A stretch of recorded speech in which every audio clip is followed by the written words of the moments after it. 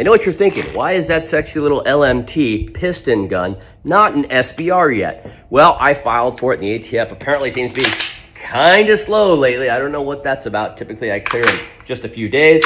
However, this one is still pending. Let's run it without a can, then with.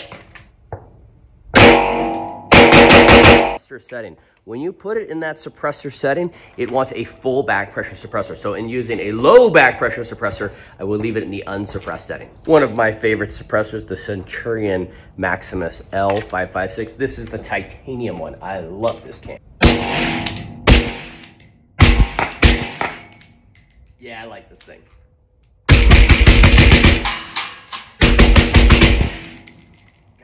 Just like the B&T, it just floats in the hand under recoil, even with the suppressor, because of its piston bleed off. Pistons are supposed to bleed off. I've had so many piston guns that don't actually bleed off the way they're supposed to.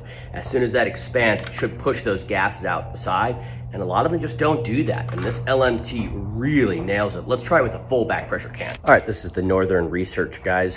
They made the Whisper Pickle. This is a full-size 30 caliber suppressor, and it is very much so a full back pressure can. You can probably see the gases that are coming out by my face. I can even taste them. That's less than ideal.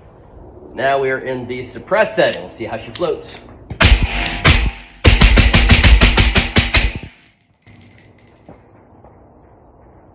A little bit of gas in the face, even in the suppressor setting.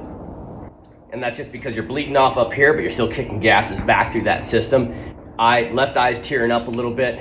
End state is, while it does have a suppressor setting, a full back pressure suppressor is not ideal for this gun.